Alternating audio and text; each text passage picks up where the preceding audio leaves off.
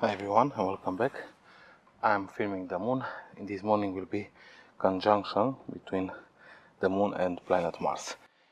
I'm using the GSO 2 times Barlow and my Nikon D7200 camera with a 50mm extender from GSO. The GSO extension tube it is much better than the one that I have from TS.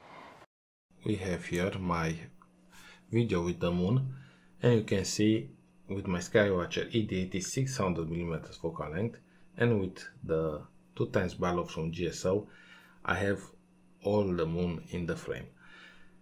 Comparing the field of view in Stellarium I've noticed that 2 times Barlow acted like a 3 times Barlow. On using here 3 times Barlow we have the same field of view.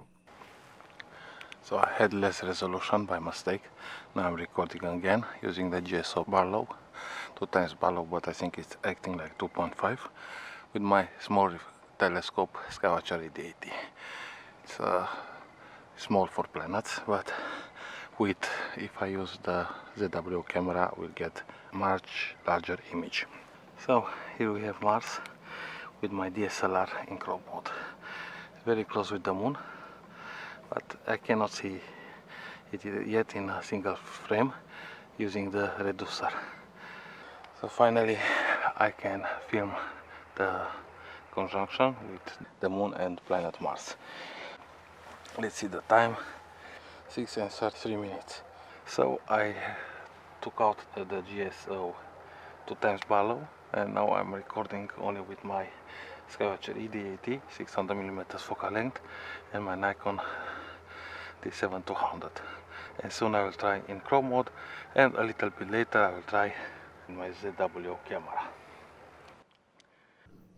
We can see on September 6 in the morning how they are getting closer and closer. Let's change to equatorial mount. I will increase the speed. So we are at 23 p.m. in 5 September and now we'll increase the speed even more.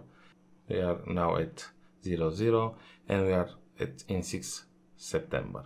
And they are getting closer and closer if I will zoom in you can see.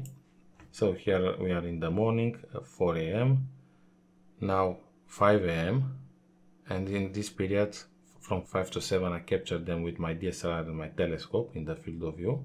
So let's stop here about 9 a.m in the morning this is the closest position that I noticed in Stellarium. I used here the my Nikon D7-200 with 2 times Barlow Skywatcher ED80 to capture the moon. I wanted to do the same for Mars and moon. First I managed to capture without the without the Barlow. So this is the field of view of my Nikon camera without the Barlow.